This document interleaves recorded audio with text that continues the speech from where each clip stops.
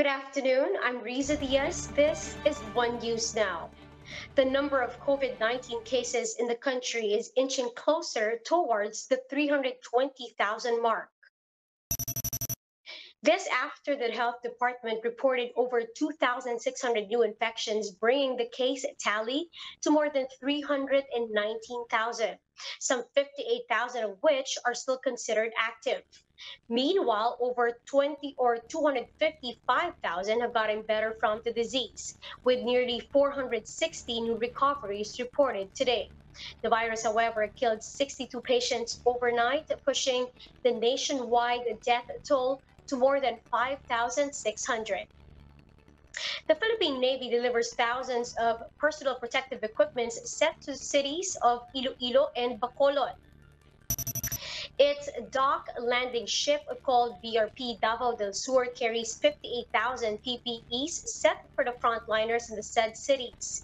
Iloilo and Bacolod are among those areas in Western Visayas with the most number of COVID-19 infections.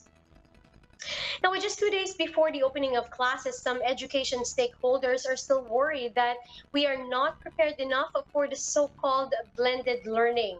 To tell us more on this, we have Ryan Ang. He's reporting to us live from Pasig City. Ryan, what's the latest? Riza, the Alliance of Concerned Teachers, or ACT, held an online meeting with educators, parents, and students to give them to give them a platform in airing their concerns.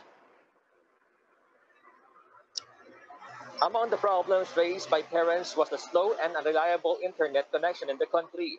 They shared that they also struggle in juggling house responsibilities and teaching their children. In addition, they complained about the late distribution of learning materials. Teachers, meanwhile, disclosed that some regions have not even completed yet the printing of modules. Some of them already shelled out their own money to ensure that the materials will be distributed on time. Student organizations, for their part, called on the government to provide gadgets and make sure that learners have access to stable internet connections. The student leaders are also asking the government to jump unnecessary school fees. In response, the education department said they are acknowledging the challenges that the education sector faces amid the COVID-19 pandemic. In today's Laging Handa briefing, Undersecretary Tonisito Umali vowed to continuously improve their services. Riza, the DepEd has been ramping up efforts to distribute the learning modules even at the last minute. Despite this, the agency is confident that all systems go for the opening of classes on Monday. Riza. Thank you. That was Ryan Ang reporting live from Pasig City.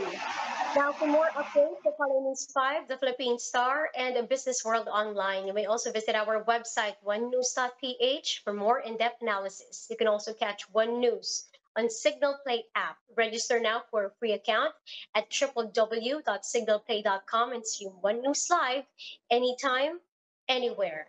I'm Riza Diaz. We are One News.